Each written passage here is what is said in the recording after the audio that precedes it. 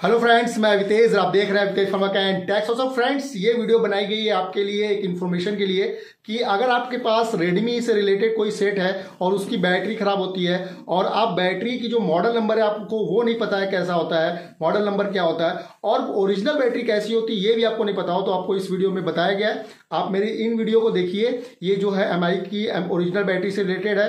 Original battery कैसी होती है, उसका मॉडल नंबर क्या होता है, और प्राइस जो होता है, एक बार आप मार्केट में सेलिंग वेबसाइट पे या तो सर्विस सेंटर में अपडेट कर सकते हैं। प्राइस हमारे यहाँ हमेशा अपडेट होता रहता है प्राइस और सर्विस सेंटर में भी अपडेट होता रहता है। तो अगर आपको वीडियो अच्छी लगे तो मेरे वीडियो को लाइक शेयर सब्सक्राइब करिए, और चैनल को ज़रूर से ज़रूर सब्सक्राइब करिए, और शेयर ज़रूर करिएगा।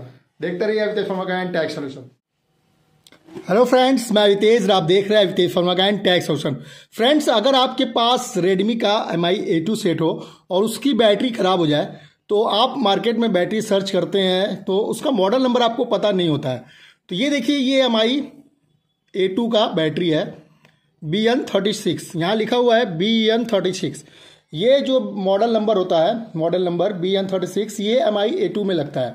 ये लिथियम आयन पॉलीमर बैटरी होती है ब्लैक कलर की फॉइल में बनी होती है। ये आपकी जो ओरिजिनल बैटरी है, यहाँ पर आपको क्यू आर कोड और ये सबसे बड़ी बात कि ये 2018 की मैन्युफैक्चरिंग सेट होती है तो उसी समय की कंपनी बैटरी बनाती है।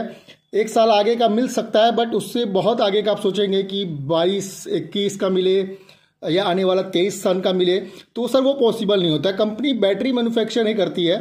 वो सेट के टाइम ही एक बैटरी मैन्युफैक्चर करती है, वही बैटरी जो है, बिकती रहती है चार पाँच सालों तक। तो ये है battery M I A two की। यहाँ पे आप देख सकते हैं इसकी कैपेसिटी 3010 हज़ार की है, दो हज़ार नौ सौ दस मतलब two thousand nine hundred one ten से लेके मैक्स जो है 3010 थाउज़ेंड तक है। इनकी जो आउटपुट देख लीजिए, यहाँ पर दिया रेटेड कैपेसिटी उसके बाद यहाँ पर वोल्टेज है थ्री पॉइंट एट फाइव का वी डी सी है।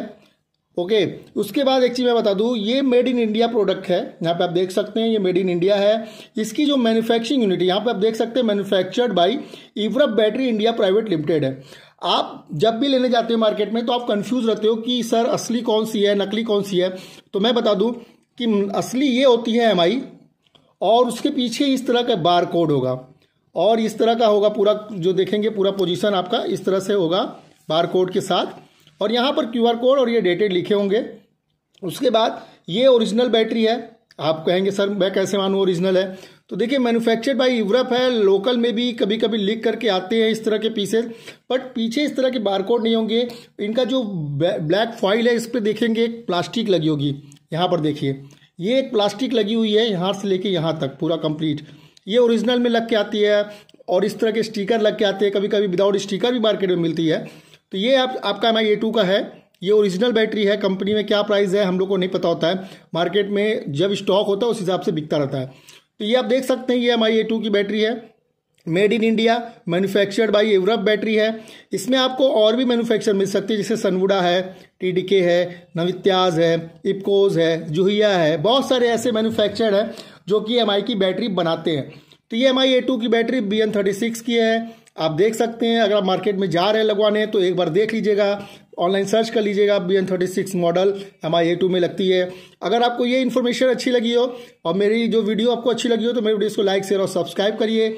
और ये प्रोडक्ट आप किसी भी प्लेटफॉर्म से ले सकते हैं बट ओरिजिनल लेने के लिए आपको देखना होगा कि यो इस तरह का दिखना चाहिए पूरा कंप्लीट आप देख सकते हैं, इस तरह का दिखना चाहिए, पीछे इस तरह से बार कोड होना चाहिए। यहाँ पे आप देख सकते हैं।